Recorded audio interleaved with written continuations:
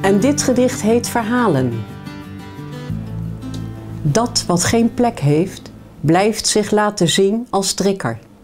Het popt steeds omhoog en blijft dit doen totdat het is gezien en gehoord. En er mag zijn. Het zijn de trikkers van de verhalen die wij onszelf keer op keer vertellen. Denkend dat zij waar zijn. Maar is dat zo?